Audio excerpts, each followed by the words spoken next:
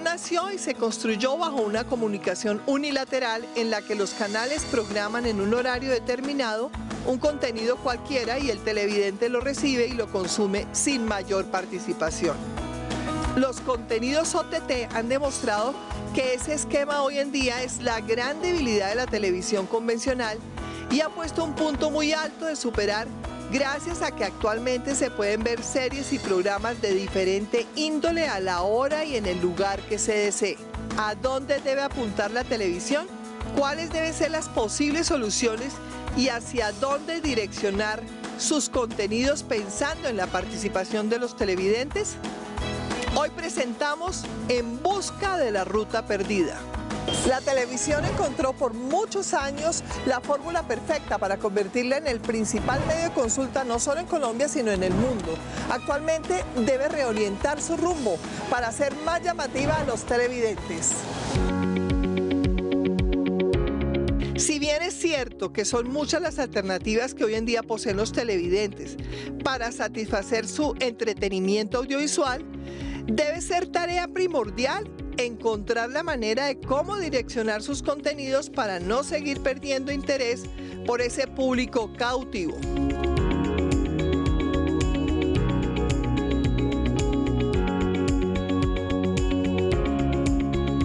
Creo que debemos empezar porque los jóvenes ya estamos cansados de que los canales solamente están intentando vender publicidad, entonces ya no están sacando contenidos de verdad interesantes que nos puedan aportar o realmente enseñarnos.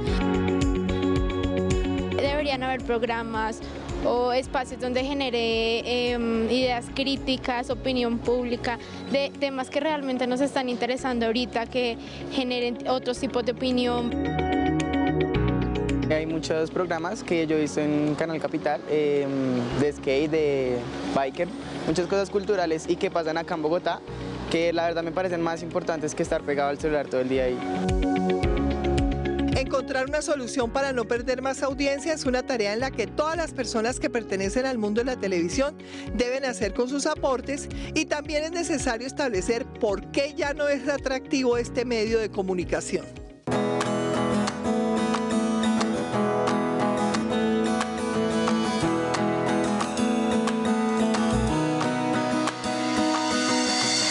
Complicado para las televisiones tradicionales mantenerse en ese ámbito, mantenerse en, la misma línea, si no evolucionan hacia ser más específicos, a buscar eh, públicos más específicos para tratar de, de satisfacerlos.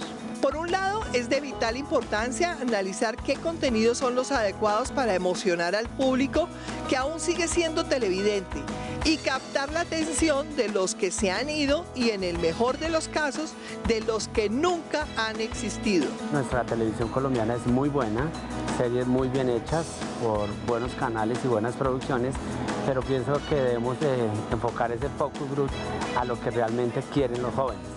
Y los jóvenes quieren cosas rápidas, quieren cosas que no sean tan largas, quieren historias cortas, quieren cosas que a veces no sean de la misma realidad, quieren entretenimiento. Buscar nuevos caminos que ayuden a establecer claramente los gustos compartidos por las nuevas audiencias y saberlas complementar con las diferentes plataformas de la Internet es quizás el paso más difícil que hay que dar para no seguir estancado en el mismo proceso creativo que ya no es tan fuerte como en años pasados. Debemos de unir todas esas fuentes porque es el cúmulo del éxito de cualquier aspecto en una sociedad como la nuestra o en cualquier otra parte del mundo. Miremos que los adolescentes hoy en día están pegados a los celulares y en los celulares tienen todo el mundo. Tienen televisión, tienen todas las, las ventanas abiertas y por eso es que viven pegados a esto. Eso podría ser la misma televisión.